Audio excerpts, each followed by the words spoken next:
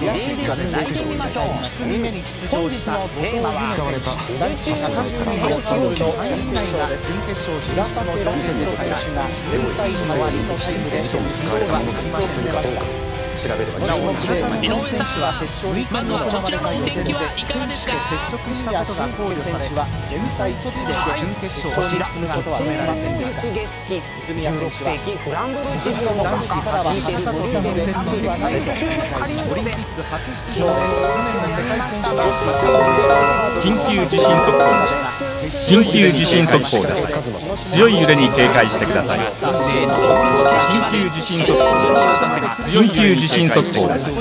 強い揺れに警戒してください。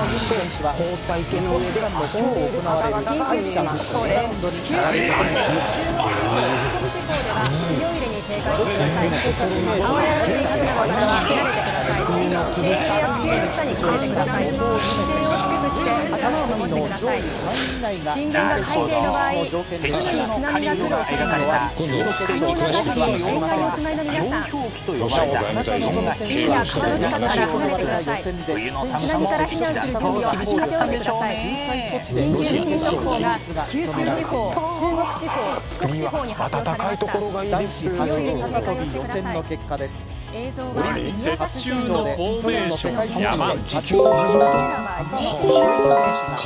緊急地震速報です。強い揺れに警戒してください。緊急地震速報です。強い揺れに警戒してください。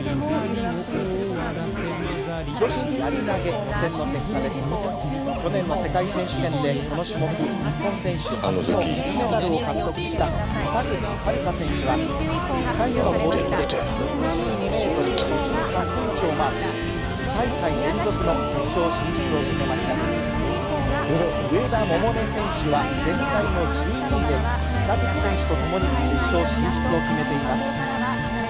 予選敗退となった斉藤真理菜選手はオリンピックのマークを胸につけて番組の途中ですが地震に関する情報をお伝えします。先ほど九州を中心に強い揺れを観測しました。最大震度は6弱です。6弱を観測したのは宮崎県南部平野部。5強を観測したのは宮崎県南部山沿い。鹿児島県大隅で5強を観測しています。仮に震源が海底の場合は津波が発生する恐れがあります。念のため海や川には近づかないでください。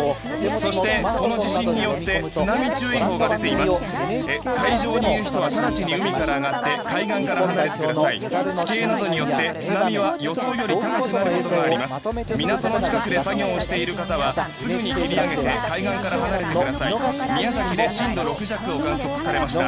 えこの地震によって津波注意報が発表されています。